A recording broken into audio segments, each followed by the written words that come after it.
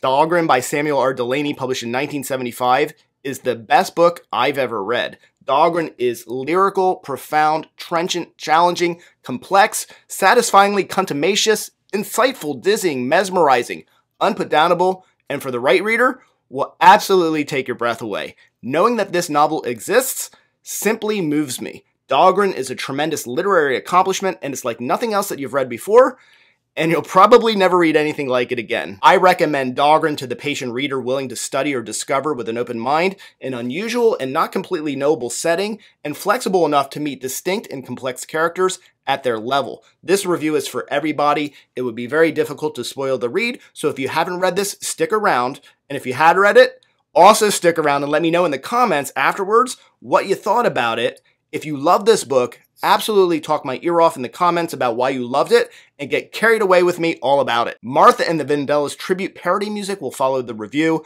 I don't possess the literary pedigree to assess deeply all of the messaging and inspirations attached to the work or suggest what the author is trying to say, and I'll therefore stay in the lane of relating my experience with this masterpiece. Arriving in the city of Bellona, the book's narrator does not know his name. For the rest of the story, we will know him only as Kid or the Kid, it's clear from the onset that his name and his sandal are not the only things that he's missing. He walks around in one sandal and one foot bare in this mysterious Midwestern city that has clearly been impacted by a catastrophic event.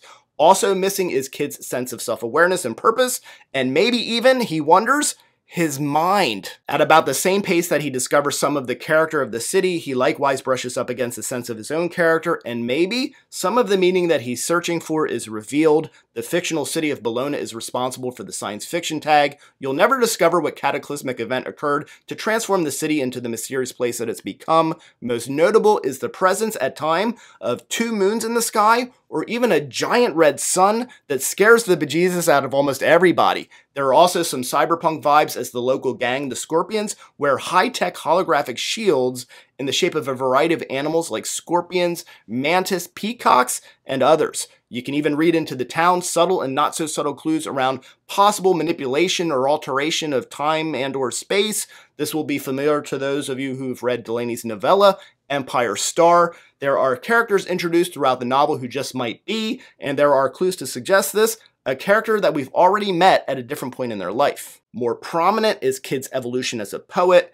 Kid finds a notebook half filled and jots down thoughts and verses. We absolutely are meant to consider if the poetry already present in the discovered notebook was written by Kid at another time. We absolutely will never know the answer to this. The notebook is significant as some of its contents are eventually published as a collection of poems, making the kid a local hero of sorts. The notebook also serves as a resource for kid to experiment with and examine language, consider the limits of language, and as a means to record events that he fears he might forget. Towards the end of Dhalgren, we get a look at what's written in the notebook and are ourselves challenged to consider what is real and what is imagined. To call the novel barely science fiction does do some disservice, I believe, as these elements all work perfectly to create an atmosphere and mood perfectly suited to host the story of Kid's time in Bellona and expose those he connects with. Delany brilliantly sets us up to relate or to connect with Kid and discover much of the city as Kid does, and drives us to ask ourselves some of the same questions, including, can I exist in this world? Could I survive? Could I adapt? Could I thrive? and what is existence. Delany takes us to the edge and compels us to ask, should I be a little bit afraid of becoming crazy, or how far away from it am I? So much of the momentum of the read is that it raises endless questions. What do you see when you look at yourself in the mirror? Is the way I live, you live, we live civilized? What is reality? Much is made of Dhalgren being a difficult read. While I understand that, I suggest confronting it with an open mind. This isn't a the science is overwhelming difficult read.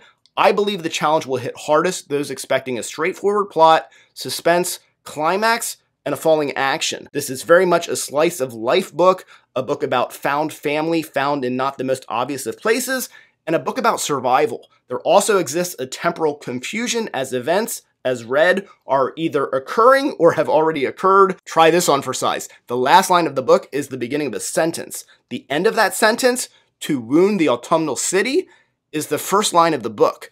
The most surprising thing about the storytelling is how fast and unputdownable it is.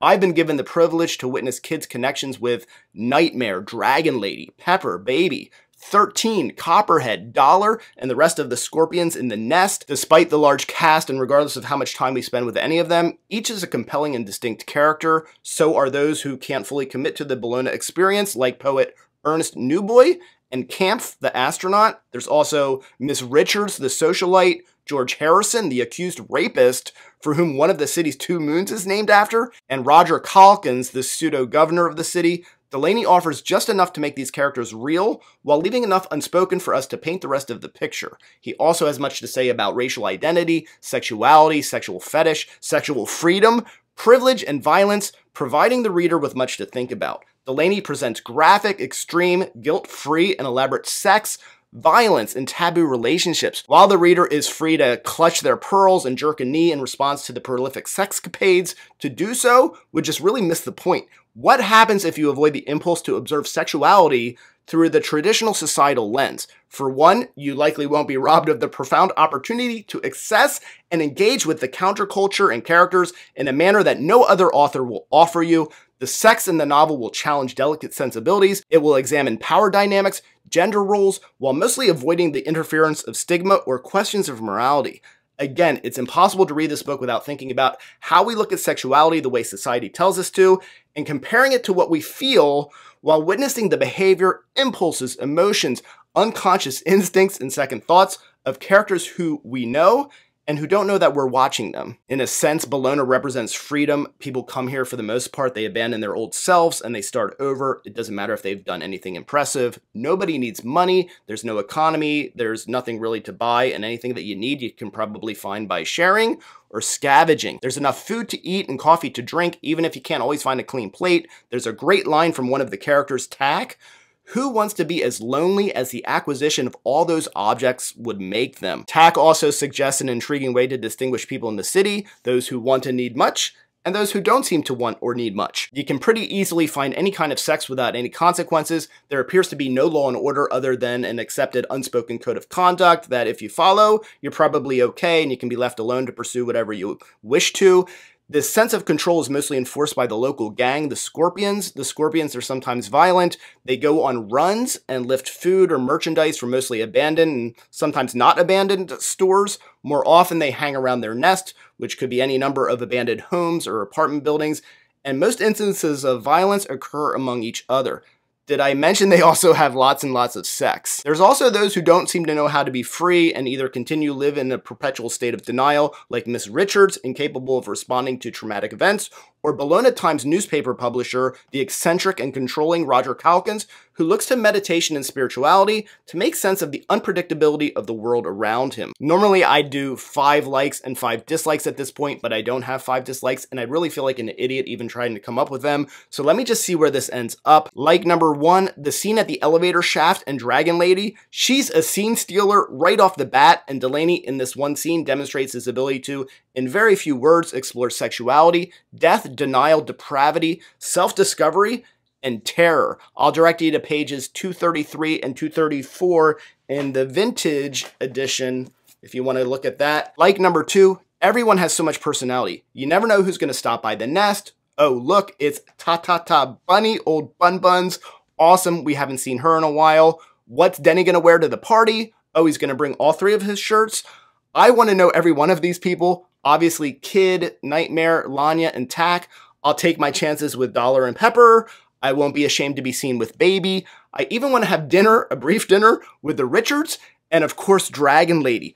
I want to spend time with them. Like number three, sticking with characters, Delany has the ability to make you think there's so much more to a character even when he barely mentions them. Introducing Nightmare ever so briefly, you already know that there are levels upon levels to this somewhat minor character. You can go down the list of Scorpions and you can say the same thing about all of them. Like number four, the Scorpion runs. Do they really need to do this? They go on runs because it's just something to do. If they didn't, what's the point of this group of people finding each other and being with each other? I think the point is that they don't really have to do this, but maybe it offers some sense of stability among the otherwise unpredictable events that are happening around them. Like number 5, Kid leading the crowd of scorpions when the large sun appears, it's cinematic. Like number 6, I'll give you a page number here. This is on page 640 on the 2001 vintage edition. It's already trippy on reread because Kid's talking to Bill, and we know later in the book that this is likely Bill Dhalgren, thus also contributing to the temporal mysteries. But what I really love is Kid's exchange. I'm going to read just a little bit of this. Bill being perhaps a bit condescending. Want to ask you, how would you sum up what you're trying to say in your poems? Kid leaned his elbows on his knees. How the hell am I supposed to do that? Sum up what I'm trying to say? I guess you'd rather we just read. Shit. I don't care if you read them or not. I just meant that. I'm trying to. Kid looked up at Bill, frowning in the pause. To construct a complicitous illusion in lingual catalysis. A crystalline and conscientious alkahest. Again? Bill asked. You listen to that too carefully and you'll figure out what it means. Kid let the frown reverse into a grin. Then the words will die on you, and you won't understand anymore. Bill laughed. Well, do you feel that your work accomplishes whatever you set out to do? Dislike number one, the critics. This is mostly tongue in cheek, but I have to at least try to have a dislike here. I feel like condemning the significant voices like Harlan Ellison and Philip K. Dick who have panned this work. For me, neither of these authors, especially Ellison, are capable of approaching this level of writing, and I found their criticism to be without merit. Likewise, I greatly appreciate the company of Dhalgren fandom, including SF Titans, Theodore Sturgeon, and William Gibson. Bonus like, when Kid suggests his name is Michael, it blew my mind. It was the last thread that I needed to connect me so tightly to this guy. The only thing that you can trust as a reader is your own interpretation of events, sexual or otherwise, and your own answers or considerations of all of the questions posed. Seeing my name associated with this character made this personal in a way that I can't even explain. Nothing in Dhalgren is certain, and like William Gibson mentions in his foreword to the novel, it is not there to be finally understood, and its riddle was never meant to be solved. One thing is for certain, you'll never forget how this book made you feel, and you'll never forget the book's opening line, to wound the autumnal city. Thank you for watching. I'm Michael Everts, and this is fit to be read.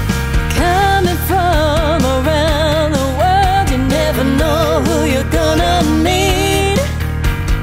Kid is here and the time is right for glowing in the street.